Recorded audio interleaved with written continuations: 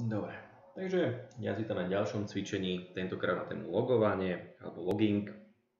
Na prednáške sme sa rozprávali o tom, čo všetko je dobré používať na logovanie, čo by to bolo za praktické cvičenie, keby sme nezačali našou obľúbenou časťou a to je testíček. Takže našou snahou je sami sa otestovať, urobiť si taký self-testing, aby sme videli, ako ste na tom dobre v Java, ako sa dobre kamarádite s exception alebo výnimkami. To znamená, fundamentálnou časťou každého developera je byť schopný spracovať výnimky alebo výnimočné stavy spolu s errormi. Rovnako je to súčasťou certifikačnej skúšky na Oracle Java Developer, dokonca aj Associate. No a keďže okrem klasickej business logiky sa hodne veľa logujú exception, tak sa budete môcť opäť otestovať, aby ste videli, ako ste na tom.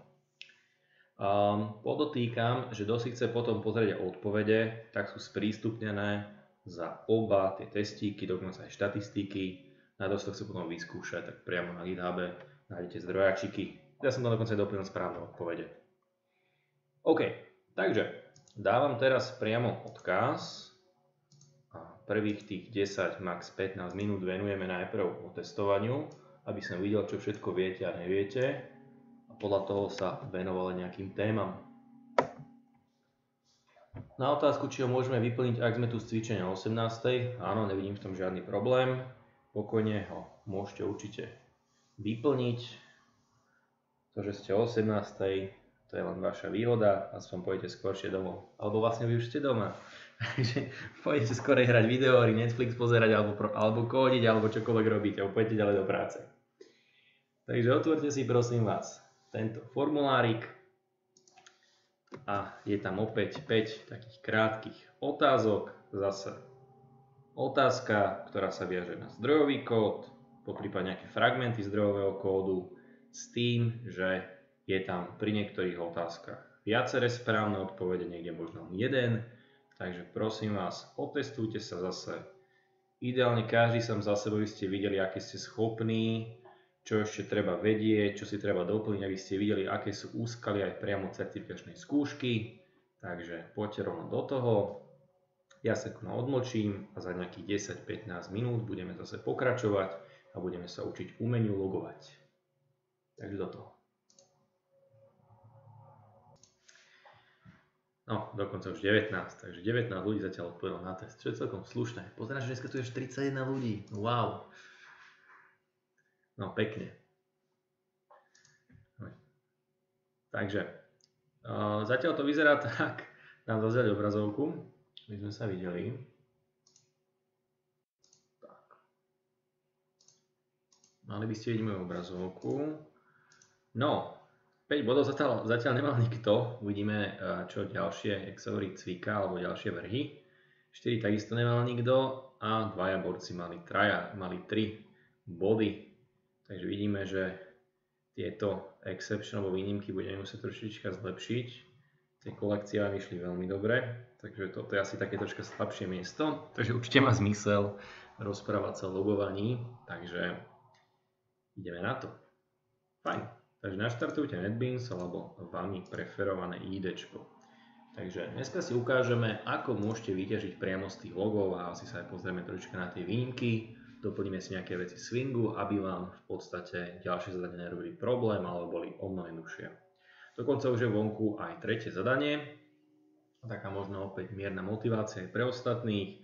Už asi nejakých 16% ľudí odozdalo druhé zadanie. A ešte ma napadla jedna taká organizačná vec. A budúci týždeň je sviatok, ak sa nemýlim. Je 10. Áno, 5.4. to je budúci týždeň. Je sviatok Neviem, či ste pozreli, ako to vyzerá v, v informáciách. Každopádne má byť náhrada výučby, konkrétne na 10.5. Um, to znamená, že v podstate má sa nahradiť jedno za druhé, ale teda predpokladám, že keďže pondelok odpadne, tak ja v podstate podobne ako nahrávame toto pondelkové, tak by sa nahralo to útorkové a tým pádom by si to mohli pozrieť, aby sa nestalo to, že niekto je úplne popredu a niekto zase pozadu a podobné veci. No dobre, Takže poďme rovno na akciu. Takže poďme vyrobiť rovno nový projekt. No a dneska sa intenzívne začneme zapodievať tým, že Doteraz sme fungovali kvôli jednoduchosti s Antom ako zostavovací nástroj, ktorý mi automaticky v podstate všetko vygeneroval, ale keďže ja nechcem stále proste ak blbeček stiahovať nejaké jar súbory z internetov, tak môžeme používať Maven aj Gradle, ktorý sa používa na všetkých veľkých projektoch. Rovnako ak pôjdete do Java EE, pôjdete a budete riešiť Android appky, tak sa stretnete s Gradle Mavenom na dennodennej báze. A zatiaľ schválne dajte AND, alebo AND ak chcete, skôr ako mravec, aj to je mravec. A toto je v poradí asi 12. Takže dajte si, že logovanie, logovanie a ideme sk, stu, fit, main. Tak. Takže vytvorím si rovno hlavnú klasu s patričným packageom, však to poznáš. No a teraz. Máme tu niekoľko možností ako v rozprávke. Povedal som, že je možné využívať Joule, čo je skrátka pre Java Util Logging. Áno, je tá jedna z možností. To znamená typicky tu si v maine a použiješ alt insert pre generovanie kódu. Povedal som, že alt insert je asi druhá najpodstatnejšia klávesa skrátka na svete.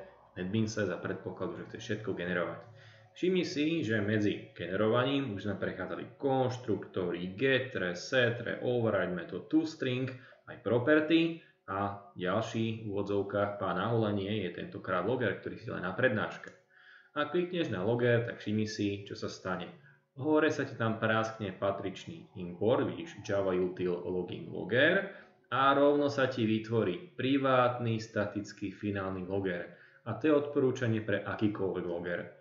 Keď budeš vytvárať priamo logger, tak ten by mal byť static a final. A to je jedno, aké budeš používať riešenie, či to bude log4j, či to bude fasádové riešenie, alebo to bude logback, všetko je to static final. A keď sa pôjdeš bližšie na pravú stranu, vidíš, že zobere sa rovno trieda logger a patričný getter sa k tomu zavolá. A vnútri sa navyše, navyše využíva priamo tá naša úžasná reflexia. Dokonca keby si bol veľký darebák, tak dá sa to robiť aj takto že ani tento getter v tej reflexii tam byť nemusí pri niektorých tých našich logeroch, ktoré za uvidíme. Áno, tu na v tomto Java util login logger je to potrebné, inak by to nefungovalo, vidíš, že ti hovorí nekompatibilné typy, ale platí, že za chvíľočku budem môcť priamo aj prásnuť sem nejaký reťazec, takže dá sa s tým potom krásne vyhrať. No, každopádne platí, že keby si chcel, tak ja samozrejme tento logger môžem zobrať Všimni si, ak dám bodku, tak tam zabudované funkcie, to znamená metódy, ktoré môžem používať. Ale teda veľa ľuďom to nekoštuje, to že fine, finer, finest, tak keby si sa učil anglický jazyk a učil si sa skloňovať, stupňovať, ale navyše tam vidíme aspoň jednu veľmi užitočnú vec a to je info, či je to logovateľné podľa levelu a samotné logy. Vidíme, že log je tam preťažený a môžem určiť úroveň toho levelu, to znamená, či to bude warn, error, fatal a tak ďalej, info. A vidíme, že za tým pôjde buď message, môže tam ísť tu na string, v rámci supplier môže tam ísť message a nejaký object, môže tam ísť pole s parametrov v rámci objectov, alebo rovno tam môže ísť trovable, čo je tá najvyššia práve trieda v celej tej hierarchii s tými výnimkami, či ešte na exception je trovable. Jo. Takže Keby som chcel, tak môžem v podstate tu na zavolať patričný level a tu na môžem volať nejakú message, že help me, alebo proste Houston, máme problém. Tak. No.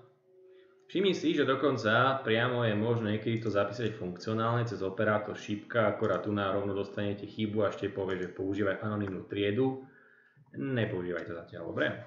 Takže ako na to spustíme a pozrieme sa napríklad typicky na tie výstupy, vidíme, že úroveň severe, Houston máme problém. A v logu vidím dátum, čas, rovnako či je to AMPM, tzv. military formát, vidíme, že máme PM. A všimnite si, tu je 4.22, áno, aj keď je 16.23, tak tu je tento formát.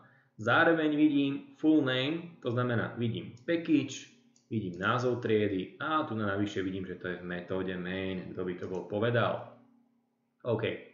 Kľudne si vygenerujeme nejakú ďalšiu metódu. Ukazoval som vám fintu, že pokiaľ by si išiel tvoriť nejaké metódy, stretneš sa s zákazníkom a on ti hovorí, má to vypisovať faktúry. OK, tak tu si dám vypíš faktúra zatiaľ, kľudne by som si sa mohol definovať taký parameter zatiaľ, neviem, string, nech nežerem, napríklad string f. No a teraz, všimni si, keď na to kliknem, viem ad 1 samozrejme naimportovať triedu string, keby som potreboval osobitne, ale podstatné je to, že tu nás z toho vieme vždy eventuálne vygenerovať metódu. Keby aj s tým bol akože problém, že tu na, keď píšeš tie parametre, je to samozrejme blbosť, pretože tu by sme chceli mať nejaký identifikátor pre faktúru, ja 2021 001 povedzme, tak rovno z tohto vieme samozrejme vygenerovať priamo tú metódu, čiže využijem zabudovanú funkcionalitu pre create method. Niečo podobné má IntelliJ ID. Vidíme, že zatiaľ mi to práskne a vyvolá, vyvrhne unsupported operation exception, čo sa im moc nepáči. Takže dám zatiaľ ctrl-e, aby som to zmazal a tu na použijete prosím vás ďalší log. To znamená, keby som zobral tento log log, čo vyzerá inak zase celkom vtipne, vidíte, že donútra môžu ísť záznamy, ale dajme tomu, že by som sa rozhodol, že tu nadáme nejaký ďalší, nejaký ďalší uh, message a dajme tomu, že kto má problém? Neviem, kto má problém. Ja mám problém. Tak. Takže, doplňme si tam ďalší log. Keď sa pozrieme do výstupu, tak všimnime si, vidíme, že najprv samozrejme, kto by to bol povedal, Houston máme problém, potom ja mám problém. Tu na, v tejto triede, triede level, ktorá určuje priamo tú úroveň, si môžeš navoliť okrem tej severe, je tam priamo warning na upozornenie, môžeš to kompletne vypnúť, môžeš riešiť a logovať všetky úrovne. Takže môžeš si vyskúšať, čo by sa stalo, keby tam bolo typicky all. Ak sa do toho pozrieš, všimni si, máme tam na Houston, máme problém. To znamená, túto, tento log vôbec nevidíš. Ak by si si dal napríklad povedzme warnings, že tu budú upozornenia, spustíš si to, zistíš, že ten warning na tom výstupe práve bude. Takže ide o to, že toto je riešenie, ktoré je zabudované, vieš to generovať, ale veľa ľudí, veľa ľudí to moc nemusí. A áno, tento string asi bolo dobre si potom zmeniť pri tom refaktorovaní, by tam bola nejaká pekná premena, neviem, ID faktúry alebo niečo podobné. OK, takže toto je to, čo máme priamo zabudované v tom našom úžasnom, nielen NetBeanse, ale rôznych e, IDčkách a máme to priamo v Java. To znamená veci ako Java Util Logging kde máme úžasné veci ako logger, level, appendery a množstvo iných vecí. Ale teda akože množstvo ľudí to nepoužíva, keď sa s tým stretnete, vidíte, je to tu v dispozícii, zalogovať to není až taký problém. Um, mimochodom, ten recept na logery ale veľmi podobný, vždy som povedal, že sa použijú statické finálne logery, využívajú sa priamo getre na ten loger a využíva sa takisto reflexia a často aj zapúzdrenie. Častokrát okrem napríklad tých fasád, ktoré sme si spomínali, všetko je to riešené tzv. továrňami. Poďme sa pozrieť ale na nejaké etablované riešenia a zároveň sa naučíme, ako si tam popridávam nejaké tie ďalšie súbory, ktoré potrebujem. V projects, to znamená v súboroch, kde vidíme projekty, alebo v tomto prehľade vidíme ten náš main file. Pod tým sú libraries. Keď tam máš nastavený GDK 8, tak tam vidíš 8, ak tam máš 11, máš tam 11, ja tam mám zatiaľ 14. Všimni si, keď až práve tlačidlo Mission Libraries, tu je možné pridať ďalší projekt, ďalšiu knižnicu, ale aj jar súbor. Presne tak. Takže tu je v podstate voľba na pridanie ďalších možností. Akorát mi to pekne zmrzlo. Takže skúsim si pozrieť, či nám pozapínať nejaké vtákoviny. Dobre.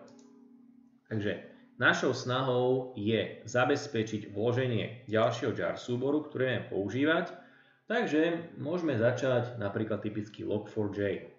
Ono to aj chvíľku trvá, kým to načíta. On sa veľmi často robia potom vtipy na Joe, že je pomalá. No, na začiatku, kým sa rozbenie, to chvíľku trvá, ale potom to je celkom dobré. Takže poďme sa pozrieť na riešenie priamo na Apache. Takže dajme si Apache log4j. Takže tu už ho vidíme, sa nás usmieva. Takže od Apache Foundation vyšlo kopec zaujímavých riešení, nástrojov. No a na logovanie tu máme Apache Log4j. Všetci si prosím vás otvorte stránku Apache. Dobre.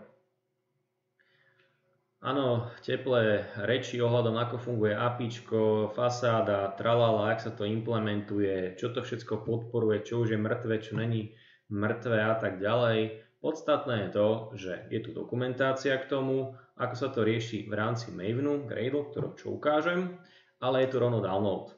Takže keby som chcel, rovno tu sú binárky a keďže je to Apache Foundation, všade sú otvorené zdrojové kódy, to znamená, keby si povedal, ale ja som lepší jak vy, OK, tak si kľudne môžeš zobrať ten zdrojak a upraviť ten logger podľa seba, podľa svojej firmy, podľa nejakej filozofie, ktorú uznávaš. OK, každopádne, to je rovno zip súbor alebo tar zip, takže buď jeden alebo druhý v rámci tých mirrorov, proste stiahni si ten zip súbor, presmerete to priamo na stránku Apache Software Foundation a tu už máš priamo HTTP odkaz na ten zip alebo keby náhodou, že nefungoval, sú tu backup side a mirrory. Takže klikneš na to a za stiahnutý zip súbor, má to 14,4 MB. Jedna z možností, alebo môže stiahnuť kľudne aj tento tar gzip. Môže aj ten. Každopádne ja už mám stiahnutý, tam lepšia kompresia akurát. Takže stiahnuť to poprvé, No a na pracovnej ploche, alebo kde si to stiahol, tak platí, že asi by bolo celkom dobré si to rozbaliť, aby sme sa popozerali, že čo je vnútri. Takže si to rozbal. A zistíš, že tam je strašne veľa súborov. A zároveň, zároveň zistíš, že aké všetky typy jar fileov sú tam, čo všetko sa dá logovať. No, klasické Java aplikácie, Cassandra, kto nepozná, riešenie pre veľké dáta, NoSQL databázy, tým sa nemyslím Mongo, ale CouchDB, Docker, to asi moc predstavovať nemusím, Flume, IOStream, GDBC, GMX, JPA, keď používate opäť eh, Java EE, asi asi možno na konci semestra dáme, je tam samotné Mongo moje obľúbené, je tam Spring Boot, niekto aj z vás robil so Springom, takže áno, Taglib a priamo web. Takže zistíte, že ten Log4j je pripravený v podstate na akékoľvek štandardné Java riešenia, s ktorými sa môžete stretnúť, vrátanie databázových riešení Java EE a rovnako sú tam aj riešenia pre NoSQL databázov, veľké dáta. Takže poprosím vás, každý mi dajte za seba vedieť, či to máte stiahnuté a môžeme ísť ďalej, či to máte pripravené.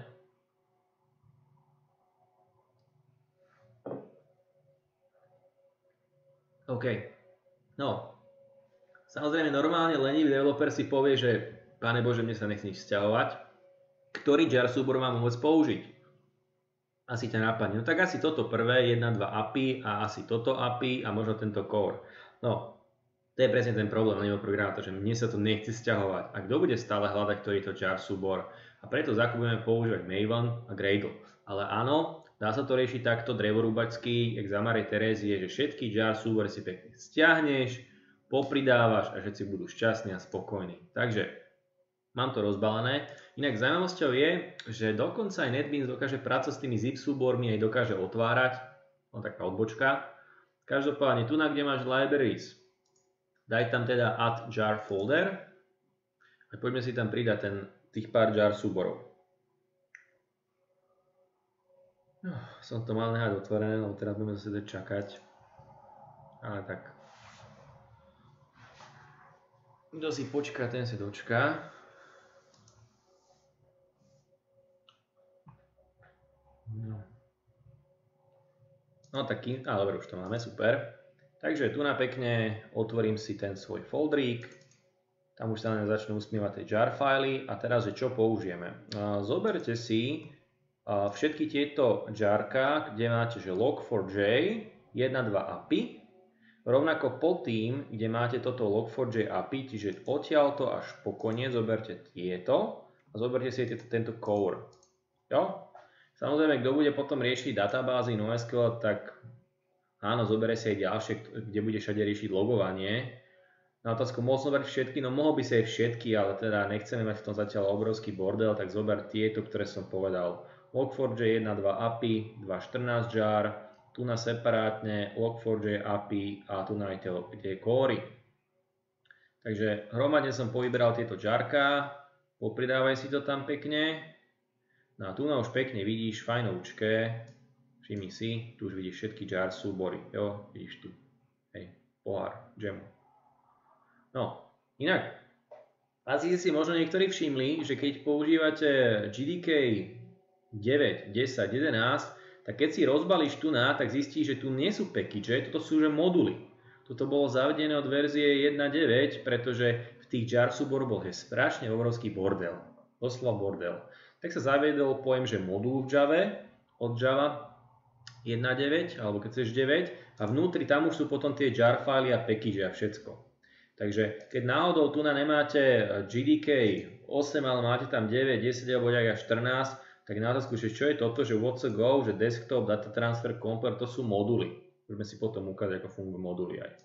Každopádne uvidíte tu priamo jar súbory a kto náhodou používa tú osmičku v projekte, tak tu budú tiež jar súbory, aj resource a podobné RT. Dobre. Tak, toto by ste teda mali tam mať takže nič, nič strašidelné. No a teraz je čo s tým? No ja môžem začať samozrejme tie logery rovno používať, takže poďme na to. Tu na vás poprosím, správame si novú triedu. Nazvime si ju zatiaľ prozaicky, že log 1. Log 1. Log 1. Dobre. Teraz, tu na vnútri rýchlo vygenerujeme metódu main. Tak. A dajme tomu, že napíšeš len logger a dáš takto, že logger. Jo? Samozrejme, on teraz nevie, že na ktorý logger si myslel. Všimnite si, že čo mi to všetko ponúka. No, je tam systémový logger, potom tam vidím log4j, vidím tam z toho Apache totiž niekoľko rôznych logerov. Takže ako náhle si do tých libraries popridávali, tak už vidíte, že tie logery tam skutočne sú. No? Takže by ste ich tam mali bez problémov vidieť. Tak dúfam, že sú tam vidieť. No. Každopádne, keby som si vybral napríklad typicky tento log4j logger, všimnite si už, že spokojný je tam, ktorý som potreboval. Takže sa mi podarilo tam prásnuť tento nový logger. Teraz, tu na keby som dal rovná sa a začnem písať názov tej klasy, vidíte, všetko je to statický kontext, je tam public static, logger, tralala a tu už dovnútra vidíte, že môže ísť string, áno, sú tam továrne. Takže tu na by som praskol rovno getLogger a môžem povedať v rámci ktorej klasy. Zatiaľ tam praskne len takto, že log 1, hej, nič viac, len takto daj, že log 1. Tak. Keď sa pozrieme tu na do toho getra, že čo to všetko zožere, tak tu na, by som bol korektný, tak všimni si, ide tam buď, že stringy, áno, alebo tu nás si všimni, vidíme tú generiku. Jo?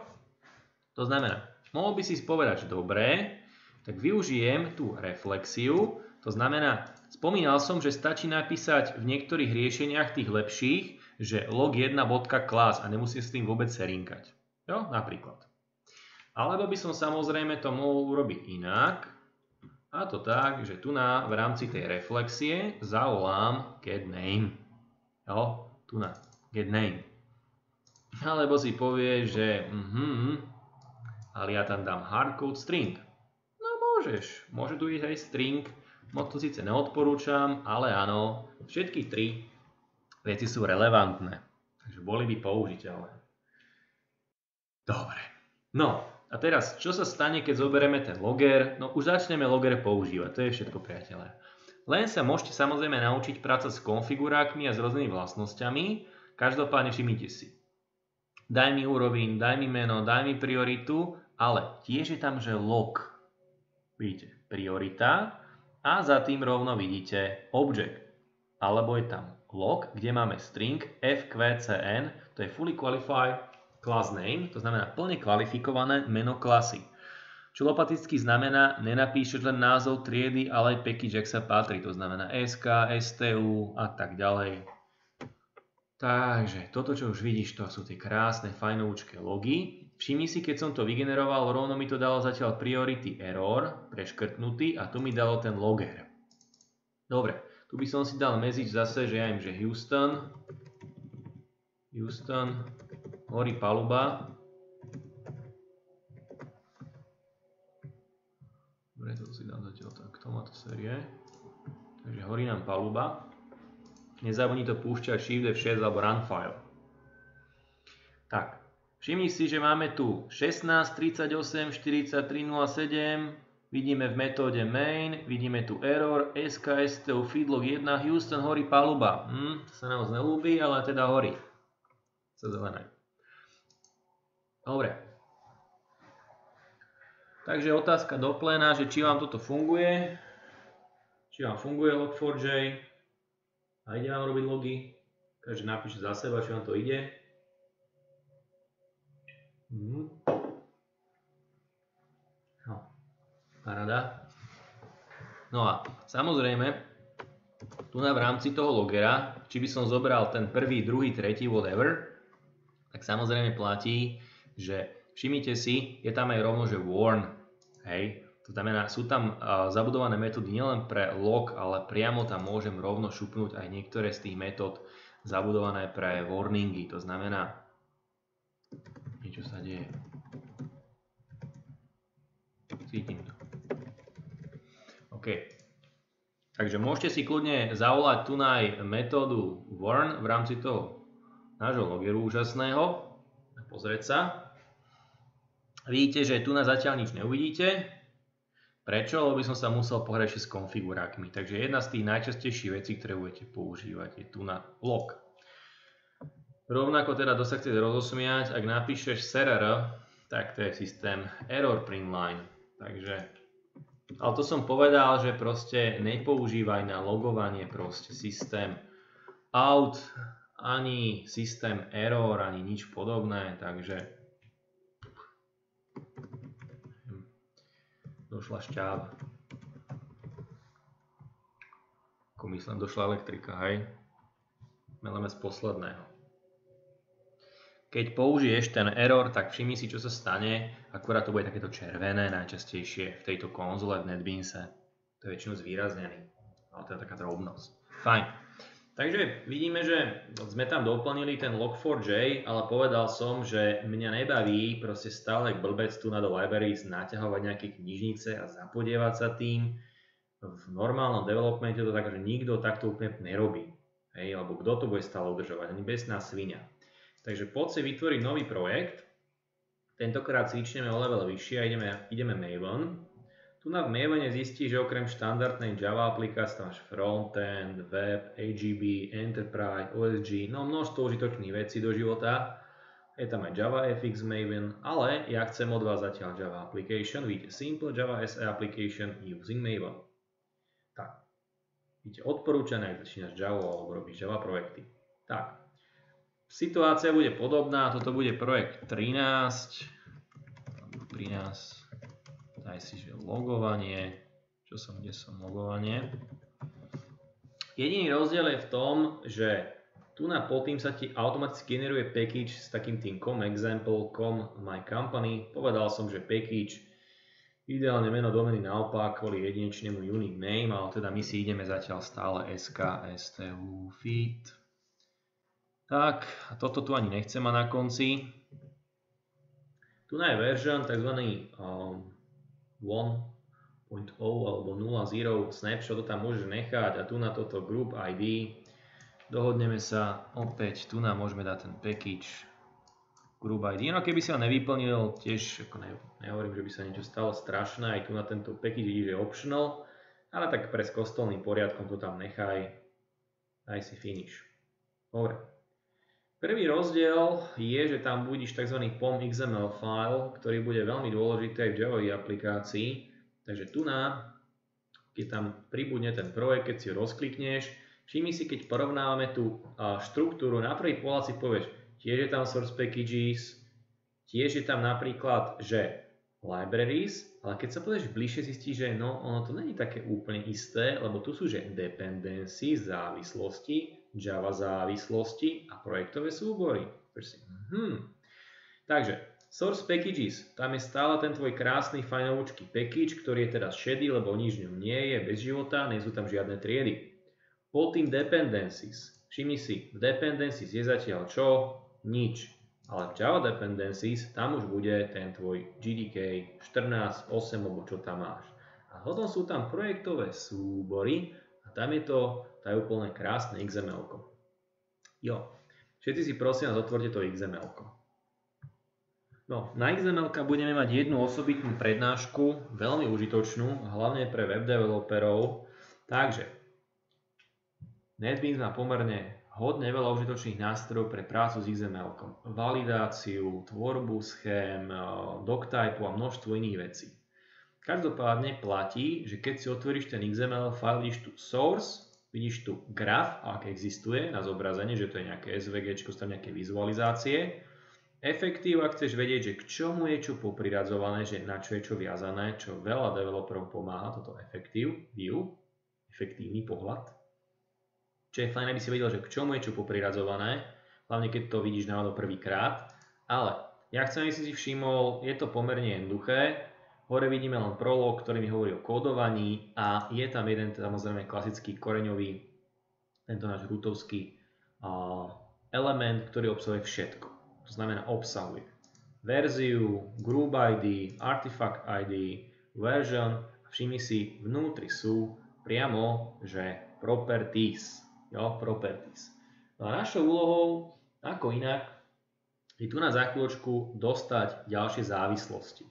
Inak, keby si klikol tu na, ten folder, že dependencies, budíček mi zvoní, Keby som dal práve tlačidlo Mission Dependencies, tak všimni si tu je položka, že Add Dependency.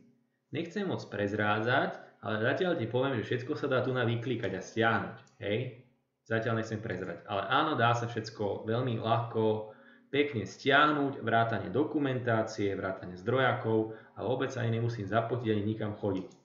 Ale dajme tomu, že to spravíme slušne, hrdo a odborne. Takže otvoríš si internetový prehliadač, a to, čo by si sa mal naučiť, je pracovať s Maven repozitárom. Takže napíšeš si, že Maven, pozor, nie Maven Project, ale Maven Repository. Tak, repozitár všetkých projektov, všetkých riešení. Takže pod na Maven Repository. No, tu vidíme, že koľko je indexovaných artefaktov. Vidíme tam už jety, nájdete tam kopec rôznych riešení. Ale nás zaujíma typicky Log4j, Logback, no proste čokoľvek, čo chceš použiť vo svojich projektoch. Takže dajme si, že Log4j, takže napíš Log4j, daj Enter a už to tu máme. Tu vidíme core, tu vidíme Apache, rovno apičko, všetko to tu máme, takže nič hrozné otvor rovno toto Apache Log4j, taká mnemotechnická pomôcka, môžeš pozrieť podľa použití, vidíš 16 000 usage, vypni na to. Tak, teraz vždy vidíme licencia, kategória, tagy alebo značky, koľko to používa, vidíme v ktorej kde je to zaradené a hlavne pod tým vidíte jednotlivé verzie. Čiže keby som chcel jednu z tých posledných verzií, ktoré sú tu na Maven repository, je tu náš 1.2.17. Klikni na to. Fajne. Miesto toho, aby som to stiahoval proste sám a proste tie jar súbory, ja neviem čo všetko, tu nám máš rovno, že Maven. Tu je vedľa Gradle. Je tam množstvo iných riešení ako Builder, ale my budeme teraz riešiť Maven a Gradle. Takže túto dependency si môžeš stiahnuť, dokonca keď do toho klikneš, že automaticky tam copy, copy by clipboard, to znamená, že kopíruje do schránky. Takže teraz pozor do toho xml nie že tu na to prásneš len tak bez hľadu a skladu, lebo by to bolo zlé, ty to potrebuješ vložiť do značky dependencies, ak sa patrí. Takže tu minimálne prosím ťa, zatiaľ to robím na skval manuálne, by sa s tým naučil xml robiť. Zobereš si dependencies, nezabudni, že všetky veci sú tu vždy proste párové, ako inak. Takže vytvoríš si práve takúto peknú značku, párovú dependencies, a vnútri v rámci toho elementu práskneš túto dependency konkrétnu, hej, to znamená v závislostiach je konkrétne táto závislosť. Jo? A vidíš, a už sa to stiahuje, už, už to fičí. Už to fičí znamená, za chvíľočku mám všetko posťahované, takže tu na momentálne na pozadí prebieha validácia a už aj rozbalovanie centrálneho repozitára a zákon je vymalované. Takže prosím vás, aby ste si to stiahli, aby ste s tým naučili pracovať. Kto by náhodou stratil point, niť, tak som vám skopíroval priamo do chatu odkaz na ten log4j z Maven repozitáru. Napijem zatiaľ. No. Chvíľu to trvá, aj v závislosti od toho, koľko toho je. Každopádne, toto je spôsob, ako do tých závislostí doplniť akúkoľvek závislosť potrebujete. Či už to bude nejaký logovací tool, alebo čokoľvek, čo uznáte závodné. Takže takto si tu žijeme. A všimnite si, tu už sa na mňa usmieva Log4j, ale tu na tento trojuholníček ešte tu chvíľku potrvá, ale vidíte, že už to stiahuje tie závislosti, už to tam bude. Dobre. Takže mať stiahnuté. Zatiaľ mi skúste napísať, že keď ste používali projekty alebo ste kodili, čo ste používali Ant, Maven alebo Gradle, s máte skúsenosti. Vlastne som sa mal opýtať, či to vôbec poznáte, aby som nehovoril zbytočne niečo, čo viete. Mhm, Maven. Mhm. Iban zatiaľ, dobre, tak super. Gradle, OK. Mhm. Čo ostatní?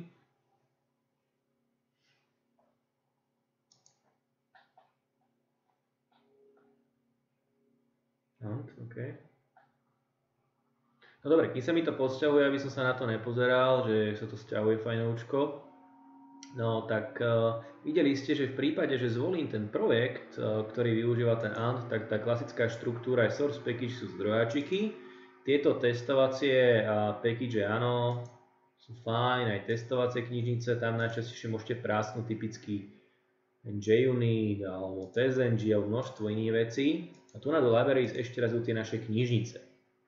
Ale ja som hovoril, že keď si otvoríš priamo že files, že súbory, tak vy si mimochodom viete tam vždy pozrieť, keď si rozbalíte ten projekt, že tam je tiež jedno XML, ktoré sa volá, že build XML. Jo, toto je XML k tomu Antu.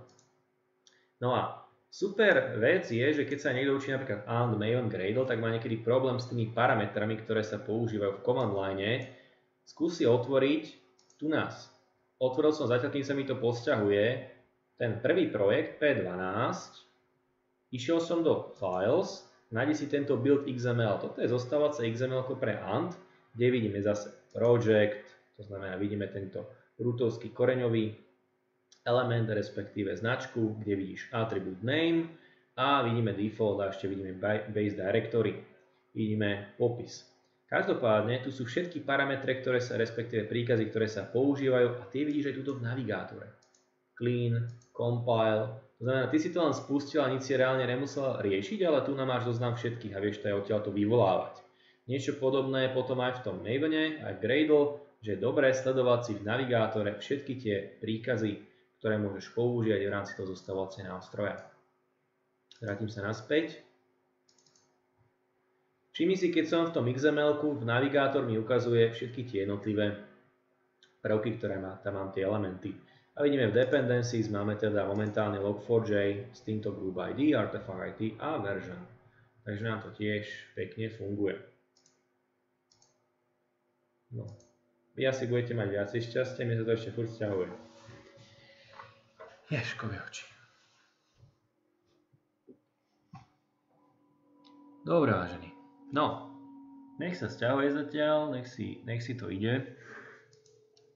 Takýmto istým spôsobom zatiaľ, aby sme nestrácali čas a nepozeral som na to jak blázon, tu si napíš logback, aj napíšeme logback. Tu už je to logback, nech sa páči. Všimni si 20 tisíc, ešte viacej ako predtým 16 tisíc. V prípade Log4j tu je logback, classic modul. Zase keby som chcel logback, klikneš na to, vybereš si verziu, moc, no moc tie bety alfy nepo, nepotrebujeme, nevyužívame.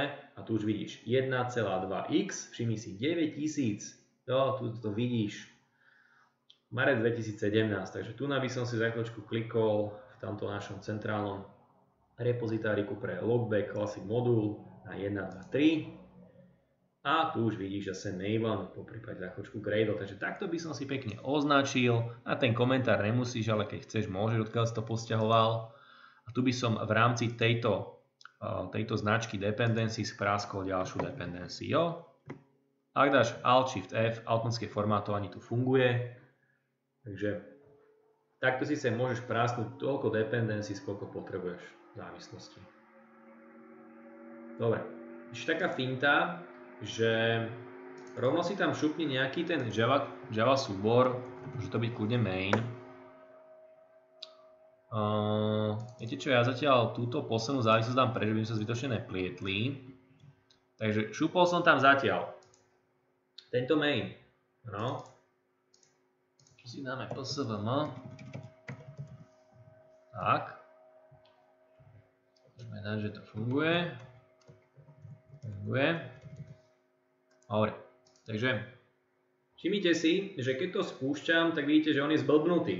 Vidíte, lebo on mi to stále rozbaluje. On povie, že, že kde máš, tu nenašiel som žiadnu main klasu a ty povieš, že tu je main, aj tu je main. Takže ak sa nám stane niečo podobné, tak ono to nereaguje preto, lebo on to stále rozbaluje, že on je proste zaneprázdnený. Všimnite si, tá ikonka pre hlavnú klasu tu není, že tu není to tlačidlo proste play. Takže keď sa stane niečo podobné, vidíte, až teraz zareagoval, až teraz to spravil klasu, tak keď to nie je do sekundy, tak proste nič si z toho nerobte. Vidíte, teraz už ju našiel.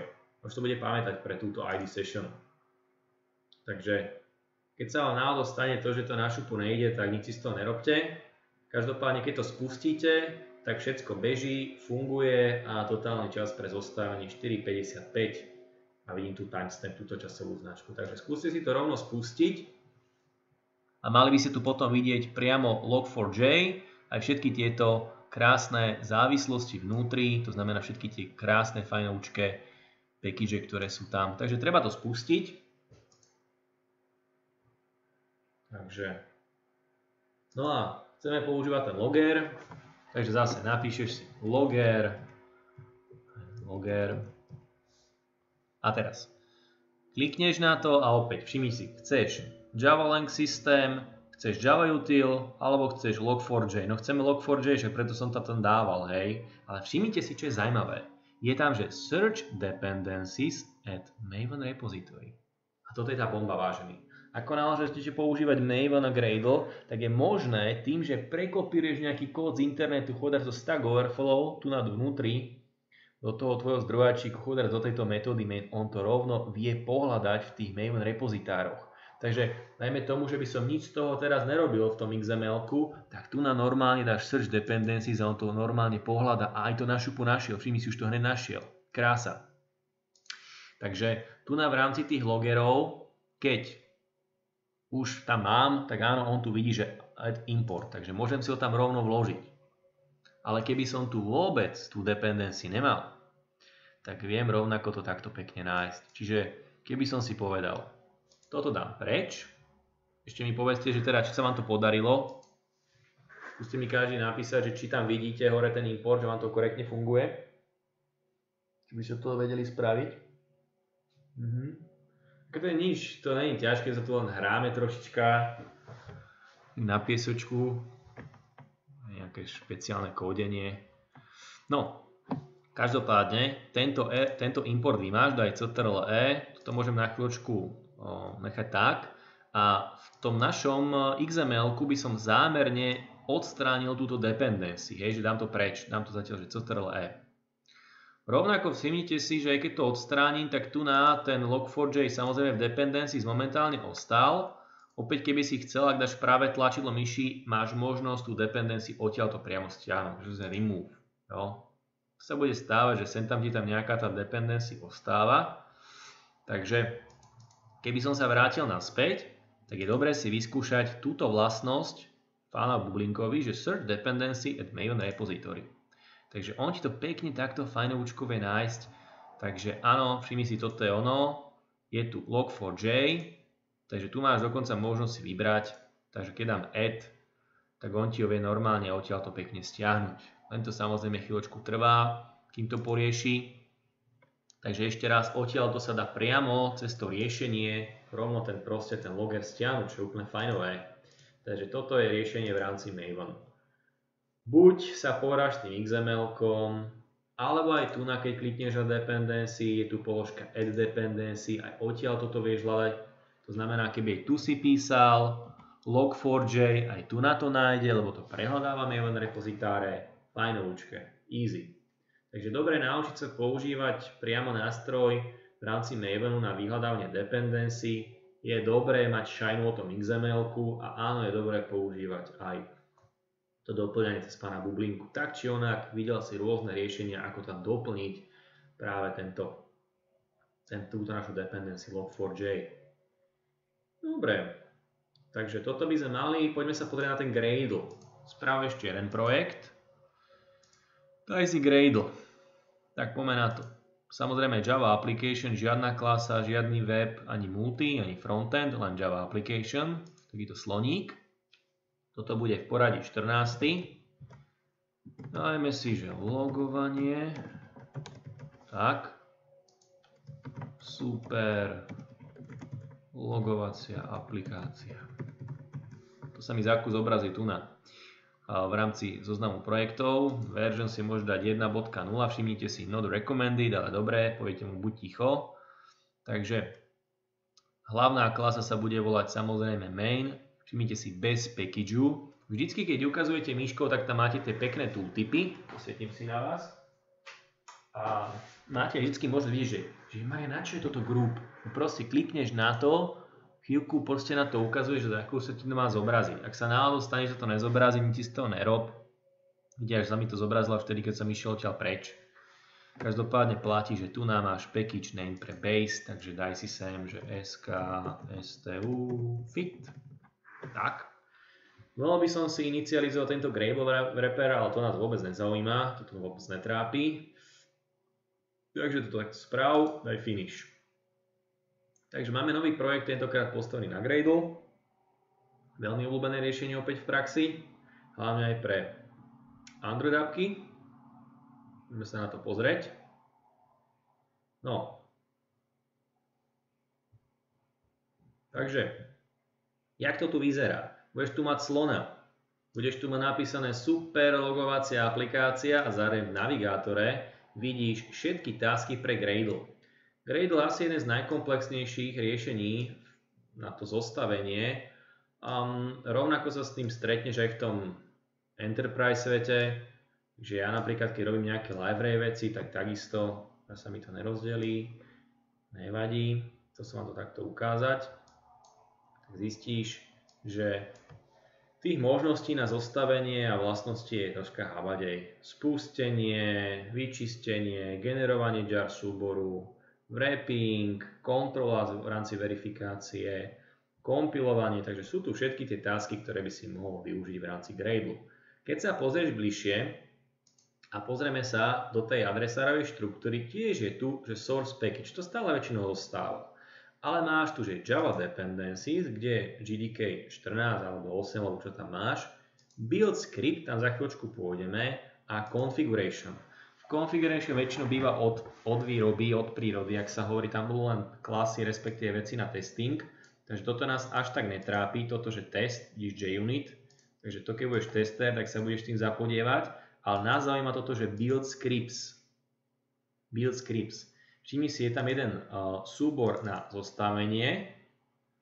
Gratulujem, všimni si, že tu je napísané. Dependencies, závislosti, presne tak, bingo. Inak, Poznáte tento formát? Poznáte tento formát? Čo to je za formát? Vie niekto? A čo sa vám to podobá?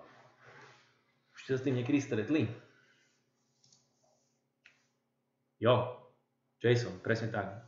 JavaScript Object Notation. Je to JSON. Takže, jak niektorým ľuďom proste vyhovujú textiáky, XML, tak niektorí sú takí, že keď uvidím ešte jednu XML, tak zabijem alebo zastrelím, tak áno, sú ľudia, ktorí nemajú radi XML. Ja mám rád všetko, skoro. Proste však budem sa rozčulovať. Áno, XML je dosť ukecané, JSON je troška strohejší, všetko má svoje pre a proti.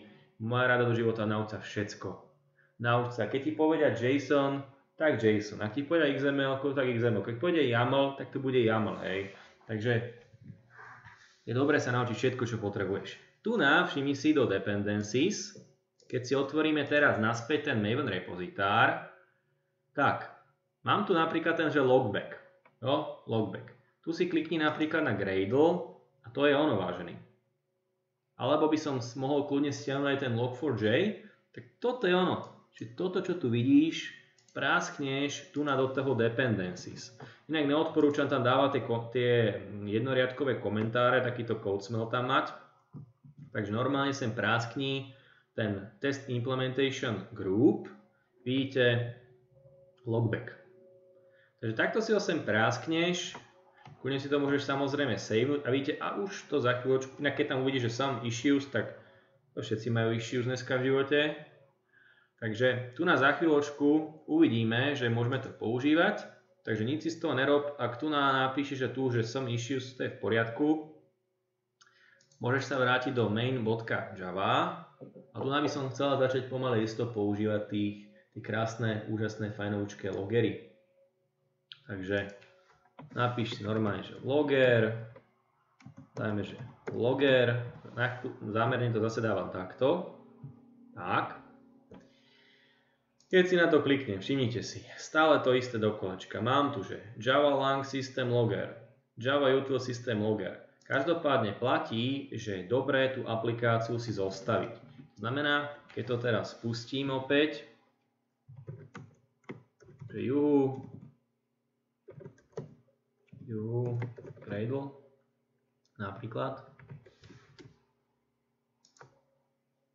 Tak, tralala, už tu bežia nejaké tasky, dva boli vykonané. Tak,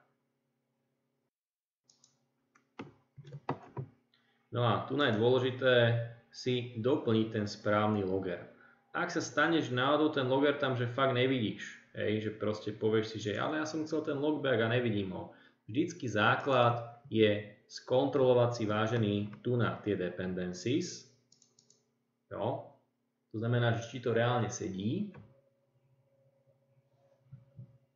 Sú tu ešte, že settings, ale tie nás až tak netrápia, lebo tam je len meno toho projektu. A ešte tam sú properties, ktoré sa budeme učiť aj pre tú našu internacionalizáciu alebo lokalizáciu, ak chceš, tomuto sa dostaneme. Každopádne platí, že tu na build Gradle doplníš všetko, čo potrebuješ. Rovnako si tam môžete mimochodom prásnuť aj ten log4j, keby ste chceli. Takže v princípe akékoľvek riešenie takto viete pomocou toho JSONu doplniť. Takže proste nájdeš si log4j, nájdeš si verziu poslednú, ktorá nie alfa alebo beta, tu na Gradle, tak si to normálne celá skopíruješ a práskneš tu na do toho dependency. Tie komentáre tam proste nedávaj. No. A keď sa stane, že tu na ti to vypisuje nejaké issues, tak proste zatvoríš, otvoríš to, aby sa to dosťahovalo, aby to proste všetko vstrebal, aby boli všetci spokojní. Takže keď sa stane, že typicky to rovno nestiahne, nič si z toho nerob, stávajú sa aj horšie veci v živote. Takže nič z toho nerob. No, fajn. Verím, že máte viacej šťastia ako ja dneska, že sa vám to podarilo. že, že tam dokonca aj možno aj máte nejaké. No, takže pamätajte, že tu na v navigátore máte všetky typy proste tých taskov pre ten Gradle, vrátanie ránu v rámci spustenia, keď až tu na spustí, to spustí ideme tu juhu zatiaľ Gradle. Alfa Omega je začať proste pomaly isto miesto toho Antu využívať Maven, Gradle a naučiť sa pracovať s tými dependency, s tými závislosťami, ktoré tu máme. Takže to je kľúčové. Dobre. OK. Takže otázka je, či sa vám to úspešne podarilo. Tu ak sa vám to nezobrazuje zatiaľ momentálne tak ako mne, nič si z toho nerobte. Môžem to celé zavrieť, ale tak nechcem úplne zdržovať.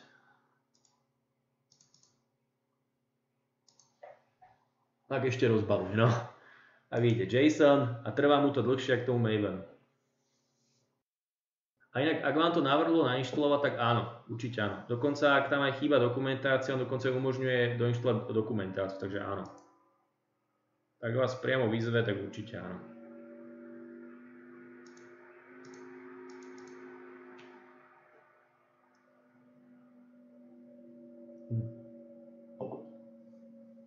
Tak to trvá. Preto niektorí ľudia sa naserú a povedia si, že tu si ja ťa stiahnem aj sám. Tak všetko má svoje výhody a nevýhody. No to pokoj. Ale tak je dobré naučiť sa pracovať s týmito závislostiami, to je veľmi dôležité. No,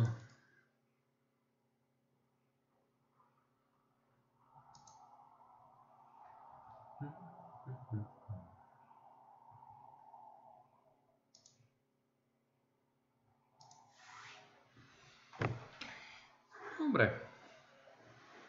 Ešte mi daj aktualizáciu a no odpadnem rovno.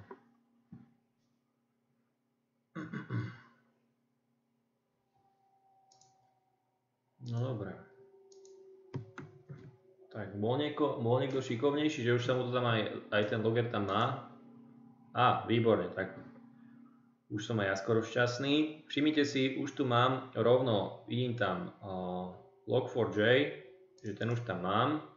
Chvala pánu Bohu. Takže vidíte, že sa mi to tam podarilo rovno doplniť. Takže ho tam mám.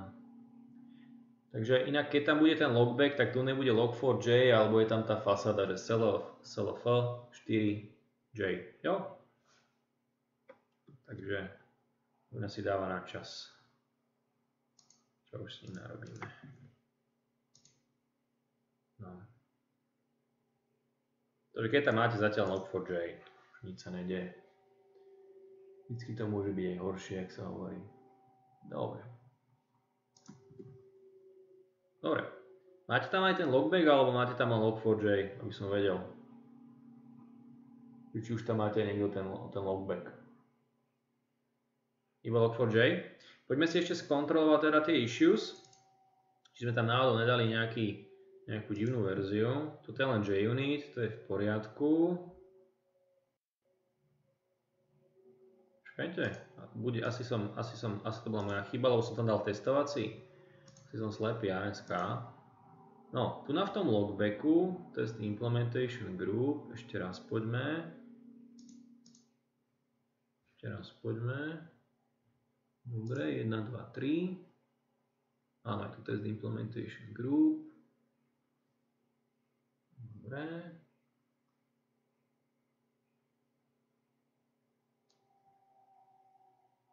No, malo by to byť cahik.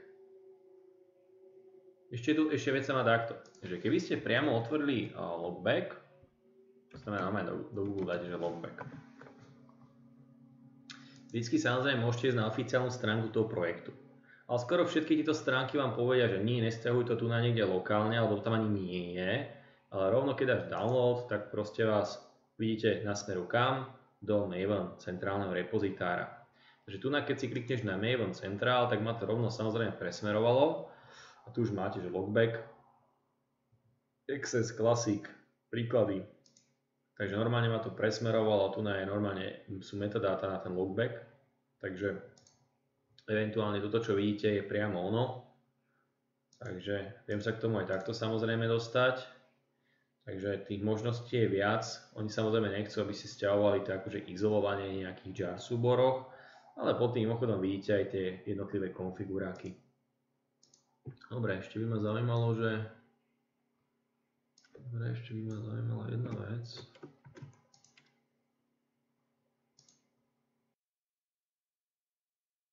Čo sa ti nepáči, môj pekný?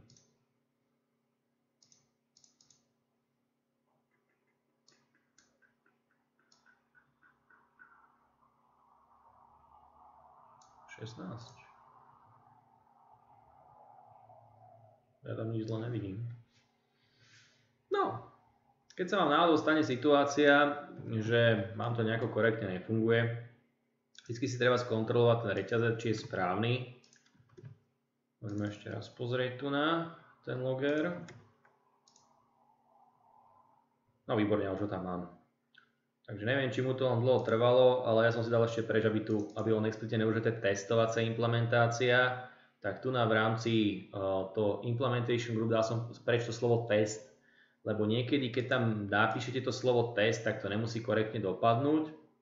Takže keď tam náhodou máte, že test implementation, tak akože nie testovacej implementácii to nechcem, v rámci ostrej implementácie. Takže keď tam náhodou máte, že test, tak si to premete na implementation group. Každopádne tu už by ste mali vidieť priamo aj ten logback, takže je to tu. Alebo aj táto naša fasáda. Takže ešte raz kontroluj si prosím ťa build Gradle, ak tam bol test implementation, tak daj prešte slovo test. Malo by to fungovať korektne. Nemal by to byť nejaký problém. Dobre. Takže zase, keby som chcel, môžem si tu doplniť ten logger. Mne to stále vypisuje, že má some issues. Tak informatika, ak sa hovorí zapnúť a vypnúť, ale hovorím, najčastejší problém je tu na, v, tom, v tom dependency. To znamená, pozor, nech tam nie napríklad ten komentár. Niekedy som sa stretol aj s takými smiešnými situáciami. Tu na keď dáme view a dáme si zobraziť netlačiteľné znaky, že tam niekto mal nejakú divnú vec, ktorú nejako zle skopíroval. Tu na vo view ešte dobre skontrolovať show non-printable characters, či tam není nejaká hnusoba, hovoria niektorí politici. Ale hlavne, tu na není test implementation, len implementation s malým Jo? Takže takto doplnil som log. No a tu na v rámci toho logera zistíte, že existujú samozrejme rôzne triedy na prácu s tým logerom. Všimnite si, je tam aj že verejný interfejs. Takže ja by som chcel, aby si sa naučili pracovať aj s tými továrňami. Chcem si napísať zatiaľ, že, že logger factory. Tak. No a všimnite si, keď dám Control Space, tak rovno mi to ukazuje, že org lsf4 priamo tá, táto klasa. Tak. Čiže vidíte, že som si ju tam rovno pridal a v rámci nej zavolám opäť ten getter, kde môže ísť rovno názov klasy, napríklad tam dám main, opäť môžem využívať tú reflexiu, môže to byť string, môže to byť hocičo. Každopádne okrem new Gradle môžem zobrať tento logger, ktorý som si sem doplnil. No a môžete si napríklad zavolať debug, by sme mali ži- mena je život, Ahoj debug. Tak. Fajne. Tu už vidíme u Gradle 17, 15, 57, main, metóda, debug, SKS, feed, ahoj debug. Takže tu na hore budete mať e, import, vidíme tam tú fasádu logger, logger factory. Inak, keď tam budete dávať tento logger factory a poviete si, že bože, že tu nevidím javadoc. Tu je taká funkcia, že attach javadoc, ktorá vám umožňuje pripnúť práve Java dokumentáciu, ak ju máte stiahnutú, alebo si ju viete mimochodom cez nejakú URL stiahnuť alebo cez download sa môžete pokúsiť, aby to automaticky stiahol. Ja som dal download, lebo som veľmi šikovný a veľmi lenivý dneska. A gratulujem teraz, keď dám logger, už tu mám dokumentáciu. We got it. Nemusel som ísť nikam, ani nikam nepôjdem. Takže pamätajte, tu na keď kliknete na Logger Factory, vidíte to prázdne, tak tu nadaj Attach Documents. Áno, Documentation. A rovno sú tam pripojte. OK, Takže otázka do že či tam máte prosím vás tento Logger Factory a Logger a už vám tam máte aj tú dokumentáciu, že vám to funguje, že si si stiahli. Ešte nápis každý za seba, či vám to ide. Nie, že hrozné, to vám taká záležitosť konfigurácií a oboznámenia sa s tými logovacími nástrojmi. Inak je to všetko na jednu kopii, to vždycky logger, môj logger, super logger rovná sa logger factory, get logger alebo logger bodka ideš. Dobre? Takže fakt nič hrozné, len si to proste treba ste, jak sa hovorí, zapísať za uši, že ako sa to používa, všetko bude dobré. OK, ešte vráte sa prosím a schválne do toho AND projektu, kde sme mali, to je P12. Hej? P12. No, otvor si ten súbor, ktorý sme pomenovali, že log1. Tu sme začali riešením log4j. Tu keď klikneš na ten logger a dáš Control Space a zase dajme tomu, že by ti tá nejaká dokumentácia chýbala, tak pamätaj, vždy pri každom riešení vieš doplniť dokumentáciu, ak tam typicky chýba.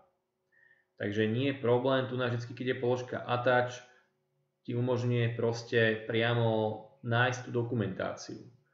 Hlavne ide o to, že keby sa nedala cez to download stiahnuť aj v tom Antovi, tak dá sa samozrejme nájsť manuálne.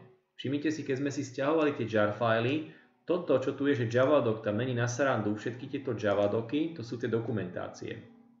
Takže keby si išiel cestou Antu nejakého dôvodu, neviem nejakého, ale dobré, že si to nechceš stále nejako komplikovať, aj to nie nič komplikované, tak vždy tú dokumentáciu vieš samozrejme izolovane popridávať, ale vieš sa k tomu dopracovať, aby si tu mal nejakú dokumentáciu, aby to nebolo prázdne. Takže nie je problém, potom si tam doplniť všetko, čo potrebujete. Dobre, ešte by bolo dobré doplniť si sem niečo takéto a to, že mali sme, tu došla šťava, tu by som to takto oddelil, je dôležité uvedomiť si prácu s tými logovacími úrovňami. To znamená, keď zoberieme si ten prvý náš loger, tak zistíš, že tam máš info, jo, niečo pekné si vypíš, že info v rámci message. Zase zistíš, že tie logery majú niekoľko základných úrovní, dal som len niekoľkokrát Ctrl Shift šípka dole, aby som to zduplikoval. A je dobré okrem infa naučiť sa pracovať s dôležitou metódou debug, si sem debug, rovnako fatal, fatal. Tak, ďalšia veľmi dôležitá úrovňa. Error, náš každodenný error,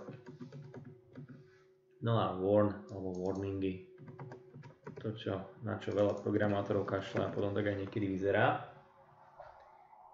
Takže takto sa môžeš pozrieť v rámci metód. A hlavne, keď chceš vedieť, že ktoré úrovne sú aktuálne povolené alebo nie sú povolené, tak každá z tých úrovní má peknú metódu, že is info, is debug, is error enable a podobné veci. Takže tu nám, keby sa stalo typicky, že niektorý z týchto napríklad veci ti nevypíše nič, tak to preto, lebo zrejme tam nemáš ad 1 konfigurák a hlavne proste nemáš niektorý z tých úrovní by default povolenú. Ja sa na chvíľočku vypnem tieto hinty, lebo má to troška série. Takže tu na tento inline hints. Takže toto sú základné metódy pre logger, ktoré sa treba naučiť podľa úrovní a je dobré si vždy overovať, či proste vôbec to máš povolené. To znamená, zoberieš si ten pekný objekt logger, dáš bodka a všimni si, je tam is debug enable, is error enable a tak ďalej a tak ďalej. Takže takýmto pekným spôsobom si vieš pozrieť, že ktoré tie úrovne sú aktuálne povolené na logovanie a ktoré nie. Proste veľmi jednoduchá metóda, ktorá vracia boolean. Je to pravda, není to pravda, je to, není to aby si videl, ktoré úrovne sú aktuálne povolené by default a ktoré nie sú. Čo tam máme? Fatal, tretí, ideme v tom istom poradí. No a takto by si mohli hovorí do nemoty. Takže dobre sa oboznámiť s tými úrovňami. Rovnako je dobré vedieť, aké všetky metódy sú k dispozícii, keďže ich budeš v praxi používať. Dobre. Tak. Všimni si, keď to teraz spustím,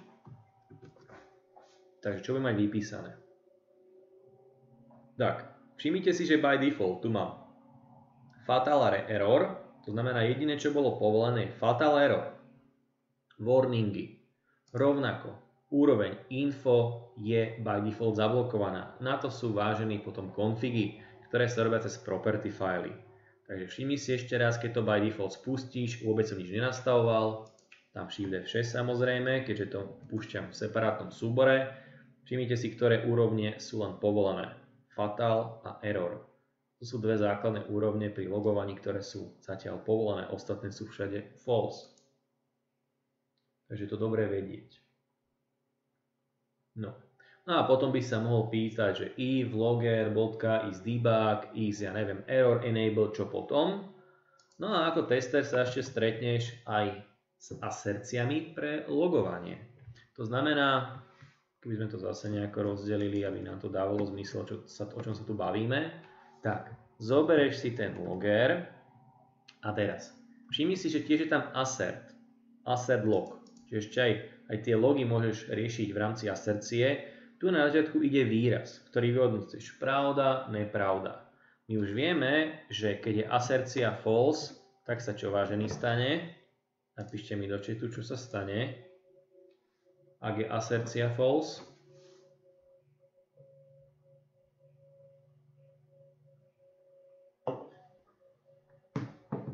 No, tak to vybuchne, presne tak. Vybuchne samozrejme pre nás znamená to, že sa nedostaneme ďalej, hej.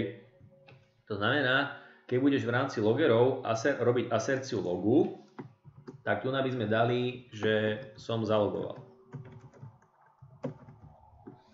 A schválne, samozrejme tu nebude reálne false, alebo je tu nejaký výraz, hej, kde budeš mať nejakú premenu, nejaký objektík, aj instance alebo čokoľvek iné. Tu daj, že si nezalogoval aby si to vyskúšal.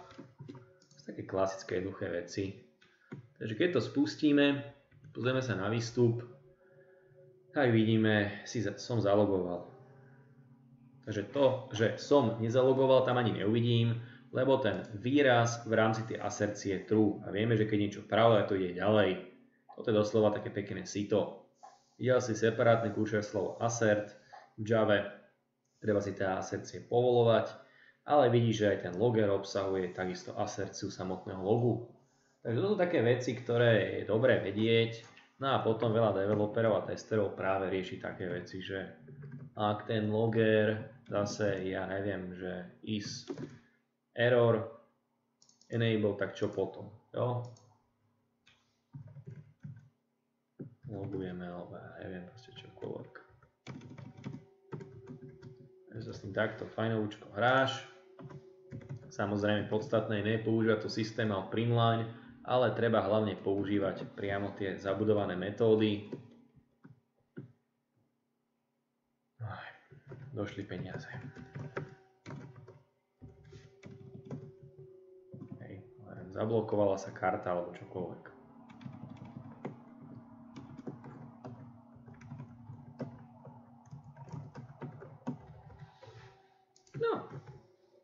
takto nejako vážený. Dobre. Takže keď to spustíme, malo by vám to korektne fungovať. Vidíme, zablokovala sa karta, som zalogoval, zablokovala sa karta. No dobre.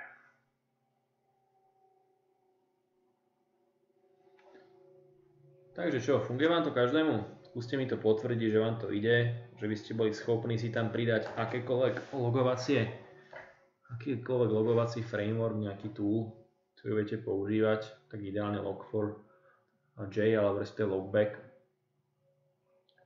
Takže napíšte mi, že či vám to funguje, je to bez problémov. Dobre. Takže toto by sme vážení mali, takže nič zložité a strašné. Ešte rozmýšľam, že... že, že, že, že. A dobre, že ste to vy. Poďme ešte nejaké veci z Vujčka vám ukážem. Takže vyrobte si ešte nový projekt. Teraz to spravím v AND, lebo sa s tým nechcem serinkať. To bude poradí 13. Nazvite si ho, ja neviem, že hodiny. Nevyrobím si hlavnú klasu, lebo tam urobím veľmi jednoduché rýchle guličko. Takže vyrobil som si unproject a v rámci neho som si urobil teraz rovno JFrame form. Dajme tomu, že si to nazvem, že hodiny alebo hodinky alebo niečo podobné. Tu nás si aspoň prásknem jeden package, nech to aspoň trošička vyzerá. Takto. Aj ne. Dobre. Takže opäť nejaké múdra do života múdro číslo 1. Niektorí ľudia, ak robia typicky na nejakých guličkách, tu mám rozflakané, tak využívajú to, že ak tam chcete vložiť nejaký obrázok, alebo chcete tam, chcete tam mať nejaký pekný background, tak vy môžete využiť label ako ten background. Vysvetlím. Tu na kde máš JFrame, na, proste prastieš si tam absolute layout, po prípade nejaký iný, ja neviem, grid layout, grid back, A keď tam dám ten absolút, tak ja môžem urobiť to, že povedal som, že najčastejšie ako tie chlieviky, tie kontajnery sa používa panel, veľa z vás používa layer panel, ukazoval som vám tape, no proste možnosti sú rôzne. Ale niektorí špekulanti to robia tak, že zoberú label, a je to celkom dobrá technika, dajú to do ľavého horného rohu bod 0,0, takto si to pekne roztiahnú, proste na tých 400x300, no a samozrejme tu na potom pozor, aby tam nezostali ten, tie textíky, tak to samozrejme zmažú. Zmažú myslí sa tým to, že nebude tam ani medzera, lebo potom tam ostane proste to posunuté o, jak sa hovorí, o taký drobný pixel a ľudí to sedie, že prečo to je posunuté? No, lebo tam zabudol developer medzeru. A ja môžem do tohto JLabelu prásknuť proste obrázok. A to je to dôležité. Že JLabel nie len na texty, ale všimnite si tu už vlastnosť icon. To znamená, keď si otvoríte tu na Properties, zistíte, že tu je vlastnosť icon jo, ikona. Čo v praxi znamená, že tu na v tých projektoch môžem povytvárať nejaký nový package, ktorý by som si nazval, ja neviem, obrázky, images, resources, každému podľa toho, čo vyhovuje. No a v rámci tých obrázkov by som tam nejaké mohol popodávať. Ja som si tu aj nejaké, tuším, prichystal. Povedzme, nejaké 3. Photoshop Level Master. Neviem, či to pôjde do chatu. No, asi ani nie. No. Rozmýšľam, že či je tu nejaká možnosť vložiť ten súbor do chatu.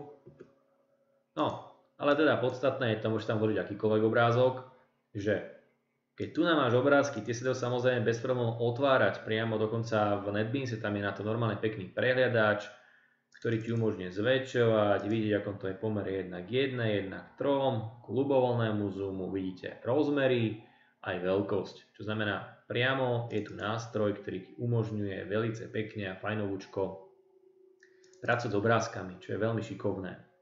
Takže ja by som rovno urobil to, že tu na do toho labelu, nazvem si to, že label pozadie, to by sa volal ten môj label, pozadie, by som práskol obrázok. Čiže v Properties, tu na v rámci vlastnosti icon je known, ale ja cez voľby môžem vybrať buď tu na externý obrázok, že si ho môžem priamo natiahnuť, alebo zistím, že však ja už tu mám package obrázky, no a odtiaľ si ho zoberiem, ja neviem, tento. Samozrejme, keď sa mi to bolo na pixel presne, tak by som sa musel pohrať s tými uh, veľkosťami, aby mi to sedelo, Takže mám takto pekne na pozadí nejaký pekný background. Jo? Nič hrozné, vy tam môžete dať akýkoľvek obrazok chcete. Flak tráv. No. A dajme tomu, že by som chcel zobrazovať, ja neviem, nejaký že aktuálny čas. A zároveň chce mi tá aplikácia robila, neviem, dve, tri veci naraz. Tak dáme nejaké vlákno. Takže mohol by som tam podávať, ja neviem, keď sem nejaké hodinky, dve labely a to, čo ťa na série je, že ono sa to prepadne on sa to prepadne, hej. To preto, lebo ty keď tam šupneš ten label ako kontajner, on bude vždy uh, na popredí, preto vždy pamätaj, čo je vyššie, je viacej na popredí, keď to predstavíš vo vrstvách ako papier. Takže zoberieš label a ten ťaháš úplne dole, takže to prepadne, pozor na to. Dajme tomu, že by som evidoval, ja neviem, tu by bol label pre dátum, tu by bol label pre čas. Tak, label bolo čas, nejaký time. Dobre. Keď už sme pri tých dependencies, um, také protypy developerské, dafont.com, ak potrebujete písma, treba ísť sem. Ako developer by som si tam chcel doplniť nejaké špeciálne, krásne, fajnovúčké písma. Ja stránku Dafont je to pekne rozdelené, okrasné, techno, gotické, skripty, prázdniny, bitmapy. A ja by som chcel, aby to vyzeralo ako aj digitálne hodinky napríklad. Hej. Ak by si začal googliť, hľadať, tu si napíšeš digital alebo DS digit, čo tu aj mám. No a to je také celkom pekné písmo digitálne, ktoré by som mohol rovno použiť. Vidíme autor Dusicu Pasavat, Takže kto chce, tak si tam môže prásknuť aj vlastné fonty. Takže vyberiem si napríklad toto digitálne písmo. Všimnite si, um, nemali by ste ho používať na komerčné účely, vidíme tu server, vnútri sú 4 fonty. Takže keď dám download, budú tam všetky TrueType font formáty, čiže klasika, bold, kurzíva, kurzíva, bold. Zároveň vidíte, že ktoré všetky znaky sú podporované. Najčastejšie tie znaky ŽČŠ a podobné nebudú asi korektné, ale to ma netrápi, lebo chceme len čísla. Takže stiahol som si tento zip súbor. Písma mimochodom na lokálnu mašinu sa inštalujú veľmi jednoducho. Ste dvojklik. V prípade, keď ich takto označíš, tak vieš ich rovno nainštalovať pre všetkých používateľov. No proste otvoríš ten fond a dáš inštalovať. Mimochodom, inštalácia nie je nič iné, že tieto fonty sa reálne nakopírujú v rámci systémového disku Windows a tam máš fonts. Takže v podstate tu sú všetky fonty v operačnom systéme. Linux má niečo podobné, nehovorím, že rovnaké, takže to sú všetko fonty. Takže takýmto spôsobom si môžem samozrejme stiahnuť lokálne k sebe do počítača fonty, ale samozrejme keď chceme, aby reálne som ich mal potom aj v tej aplikácii, len lokálne u seba, aj by som si mohol v rámci packageov vytvoriť ďalšie, neviem, že písma alebo fonts. A veľmi často napríklad aj Android aplikácie to majú tak, že máte tam že res ako resources a tom sú aj obrázky, aj písma.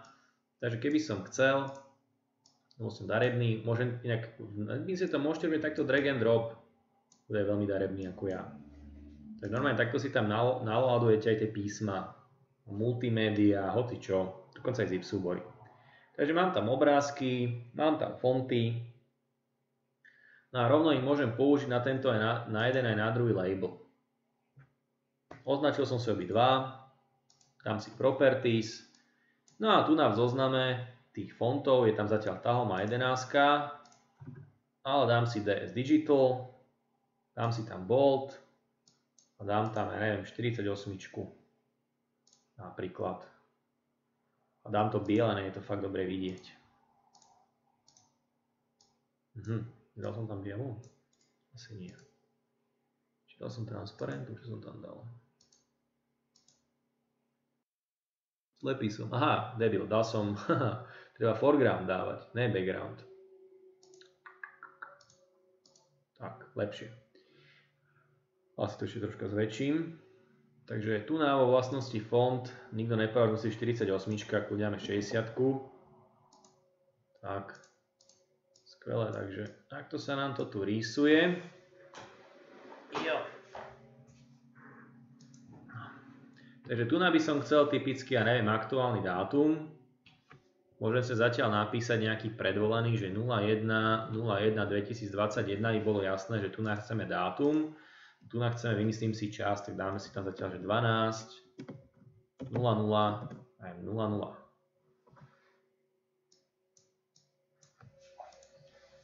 Takže popridával som si pekne fonty, popridával som si obrážčeky a ešte raz, teraz ten label mi tvorí v podstate kontajner.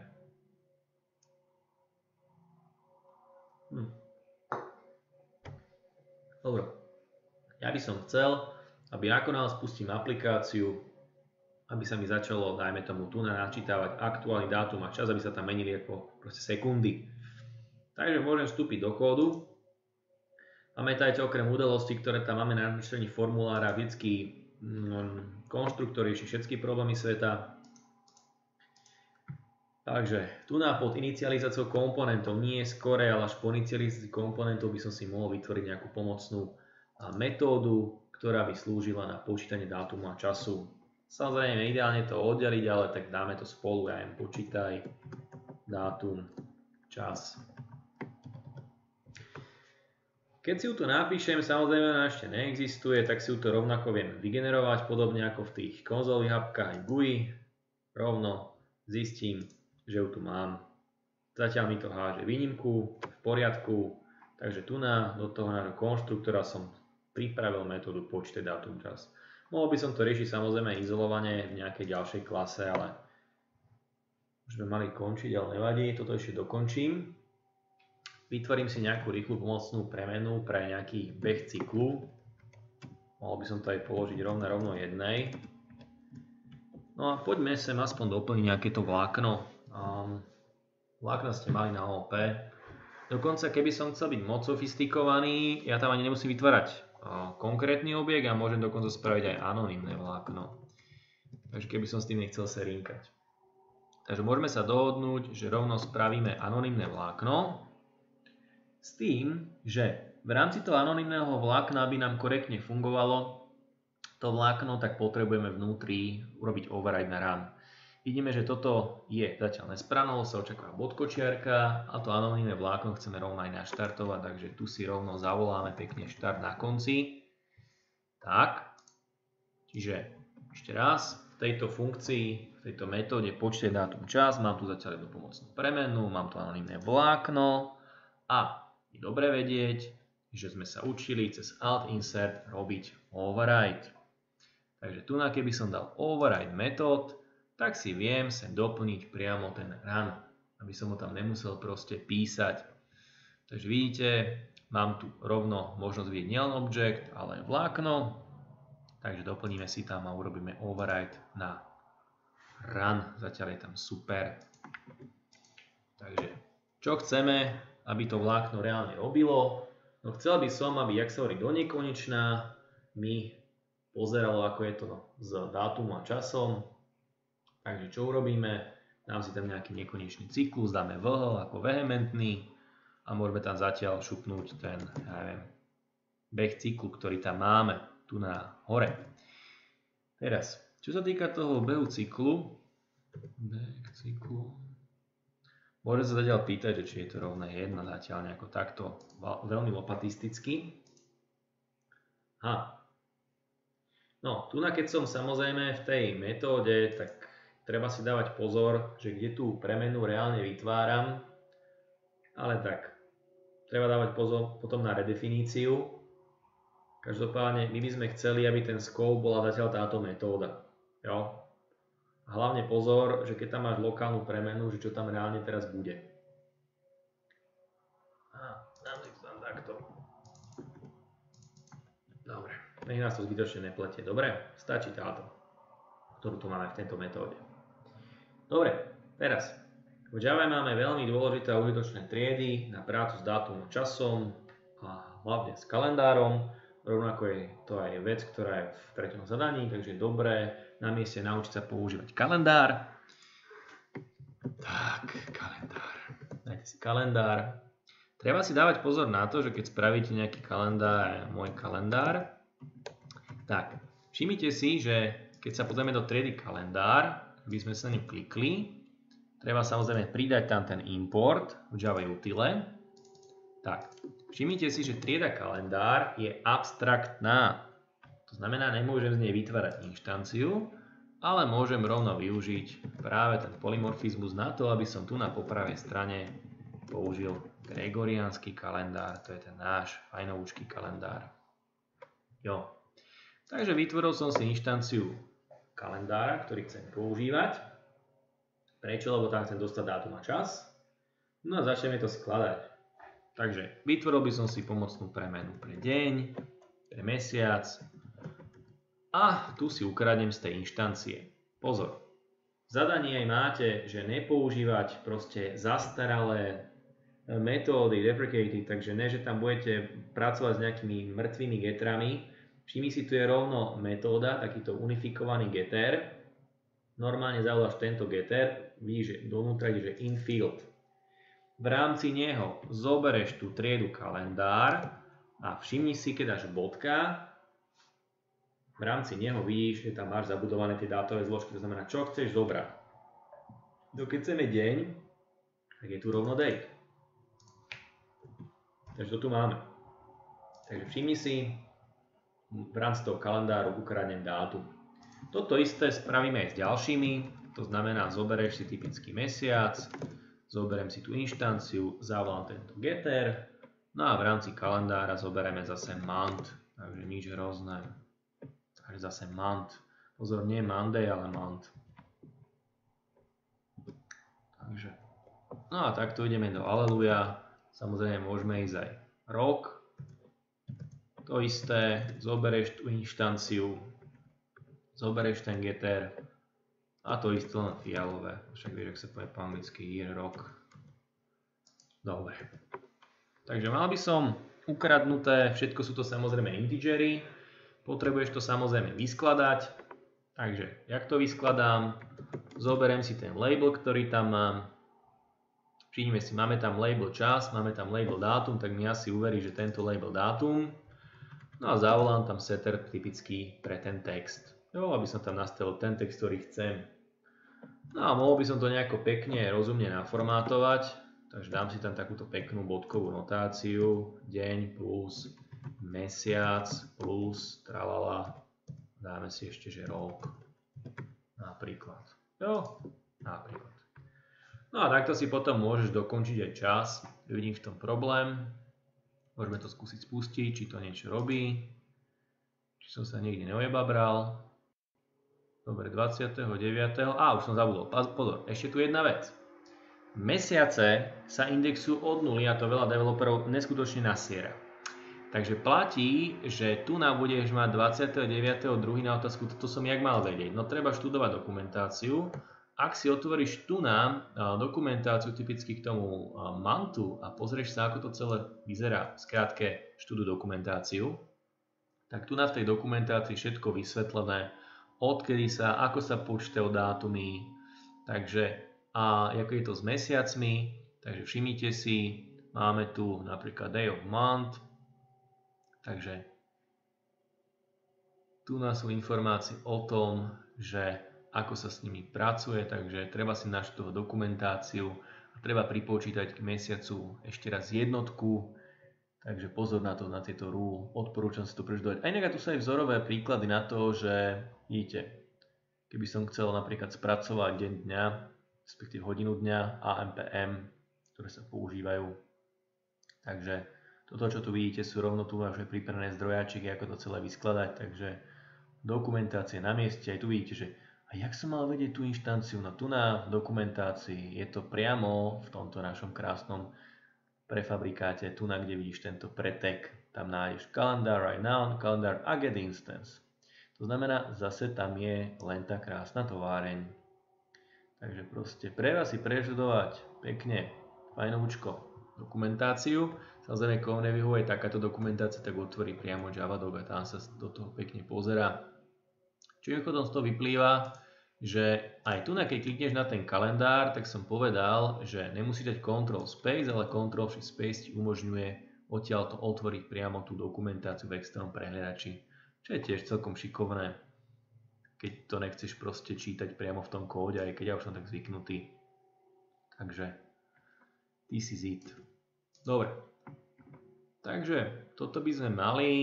No, viete čo, ja tam ešte preventívne doplním tie sekundy, pretože chceme, aby sme vidieť, že to nielen, funguje, ale že sa nám to automaticky ktorý prepočítava, že tam máme tie sekundy, že sa to reálne mení. Takže tu si ešte môžeme rýchlo doplniť pár tých, to len chvíľočka. Podobne, keď potrebuješ riešiť hodiny, to isté, bereš inštanciu toho kalendára, zavoláš ten getter a v rámci kalendára zoberieš, kto by to bol povedal, hour. Pozor, pozor na hour, nie hour of day. Tak. To isté spravíme typicky s minutou alebo s minutami. Minúta, ktorá to je. Zoberieš inštanciu kalendára, zavoláš si pekne ten getter a takto to robíš, dokým sa nezblázniš, dokým sa s tým naučíš pracovať a dokým neporozumieš celej tej klase, všetkým dátovým zložkám a metódami, ktoré sú tam. Tu je minute. Áno, je tam aj millisekund. Nemusíš použiť len triedu systém. No a dajme si tie sekundy, lebo to je to, čo tam chceme vidieť. Bránky body sekundy. Get. A poďme tam dať tie naše sekundy seconds, pozor, nie september, ale seconds, jo, máme to, no už to vyskladám, nech to nejako vyzerá. No a keďže veľa ľudí potom série v akom je to formáte, tak asi bolo dobre minimálne si tú sekundu naformátovať, aby tam nebolo to potom také hnusné, a však uvidíme. Zoberiem si ten label čas, zase si zavolám setter, áno, aby som tam mal to, čo potrebujem v tom labeli, takže ideš podobne, hodina, plus dvojbodka. Môže samozrejme povedať so string formátom, takže hodina, minúta, takže hráš sa s tým, tu zdáme, že plus sekunda, sekunda, sekunda. môže byť. No, napríklad, čo sa ti nepáči. Tu mi chýba plusko. Najčastejšie chýba plusko niekde na spojení. Tak, pustí sa Diabol stroj. Takže vidíme, že to počíta, že nám to funguje. To znamená, teraz by som tu mohol mať menučko, robiť nejaké ďalšie operácie a v rámci tohto vlákna mi to tu na beží a máme tam aktuálny dátum, máme tam aktuálny čas.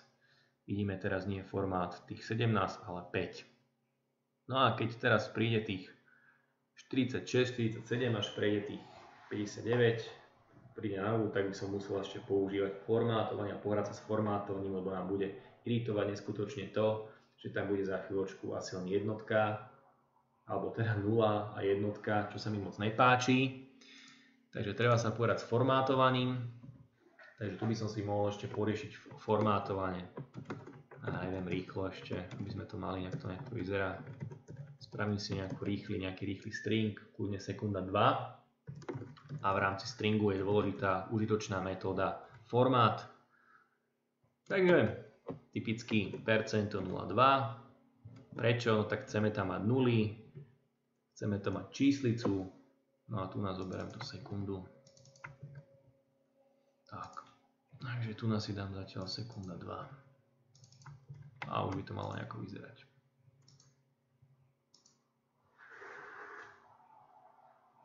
No, takú aj trafím čas.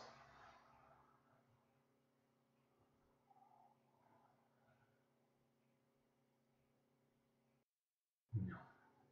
Pozrieme sa na to. No výborne, že tam pekne 0,1, 0,2 a tak ďalej. Už to nejako vyzerá trošička. Takže toto by sme mali vážení, takže z dnešnej hodiny si odneste prosím vás používanie Mavenu, repozitárov, dependency aj v rámci Gradle, Rovnako ste videli logery, jednotlivé úrovne. Odporúčam za domácu úlohu urobiť si konfigurák a naučiť sa robiť s konfigurákom pre tie logery, to je dobrá domáca úloha. Z toho swingu som ukazoval, že je dobré popozerať sa trošička v rámci dizajnu aj na to, že veľa ľudí využíva v rámci toho nášho kontajneru nie tie zabudované kontajnery, ale využíva na to label, lebo tam môže nejaký obrážček. Videli ste, ako tam popridám obrázky, kľudne aj písma. Keď hovoríme o tých písmach, tak nezabudnite, že som to teraz nastavil to písmo lokálne u seba. To znamená, že keby som chcel a musel, tak by som musel zavolať proste set, setter na ten font, aby to bolo samozrejme aj u ľudí, ktorí reálne tú aplikáciu spustia prvýkrát. Nech som dal nejaký zástupný, zástupné písmo v rodine písiem. Takže bolo by treba ešte nastaviť setter pre tie fonty, nielenže z toho je nainštalujem u seba. Samozrejme v rámci tej distribúcie by tam boli aj obrázky, aj tieto písma. Ale pozor, väčšina tých písiem nie je open source, to znamená, keby si predával tú aplikáciu, tak to nebude asi moc dobré. Takže toto by sme vážení mali. Takže za mňa dneska všetko.